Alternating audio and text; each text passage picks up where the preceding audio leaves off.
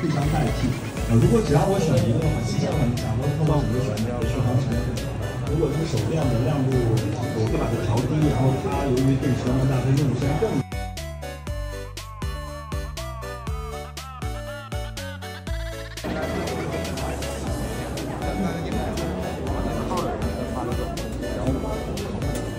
这是什么牌子吗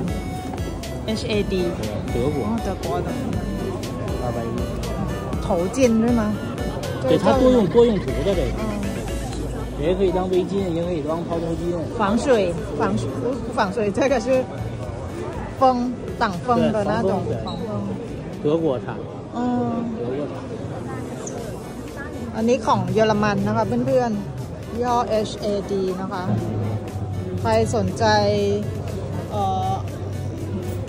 ครอบผมสวยๆ หรือว่าคล้องคอกันลมนะคะ ก็ยี่ห้อนี้ได้เลยเพราะว่าคุณภาพดีมากสามีบอก แนะนำมา ก็ใช้ได้หลายอย่างนะคะ ทั้งเป็นทั้งแมส แล้วก็เป็นทั้งหมวกกันลมผ้าบันคอเนอะ